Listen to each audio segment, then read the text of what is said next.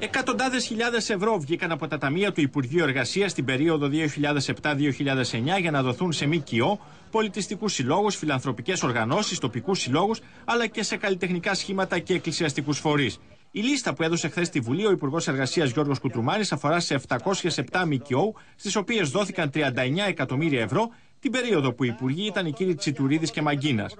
Τα μεγαλύτερα ποσά των χρηματοδοτήσεων φτάνουν τις 150.000 ευρώ και ανάμεσα στις ΜΚΟ που τα έχουν πάρει είναι ο Άγιος Μάξιμος ο Γρεκό, η Ευρωπαϊκή Έκφραση Ανατολική Αττική, η Νιφάλη με επίσης 150.000 ευρώ, ο Σόλων για τη σύνθεση και τον οικολογικό πολιτισμό στον 21ο αιώνα με 120.000 ευρώ, το καλλιτεχνικό σχήμα Σπύρα Σπύρα με 100.000 ευρώ, το κέντρο έρευνας και δράσης για την ειρήνη με 90.000 ευρώ, η μηχανική του κόσμου με 90.000 ευρώ επίσης, η αστρονομική εταιρεία Κέρκυρας με 60.000 ευρώ, ο Κορμοράνος με 54.600 ευρώ, το καλλιδοσκόπιο με 50.000 ευρώ, το ίδιο ποσό πήραν και οι φίλοι της ελληνικής Μαριονέτας, ενώ από 25.000 ευρώ πήραν η θερμοκηπιακή ντομάτας σκάλας, ο γηπαϊτός ο πονογοφόρος και η μύθη του Ηρακλή. Το 2007, 8 και 9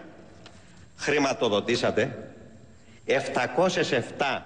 μη κυβερνητικές οργανώσεις, εδώ είναι ο κατάλογος, με 38 εκατομμύρια ευρώ και με υποχρέωσή τους να προσλάβουν έναν άνεργο. Σας τα δίνω έναν άνεργο. Δηλαδή 30.000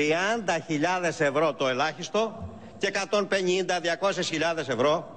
για να προσλάβουν έναν άνεργο. Η Νέα Δημοκρατία, απαντώντας τον κύριο Κουτρουμάνη, έκανε λόγο για επιλεκτικές λίστες και ο Μάξιμος Χαρακόπουλος είπε ότι πρόκειται για υλοποίηση προγράμματος με κοινοτικά κονδύλια που ξεκίνησε το 2001.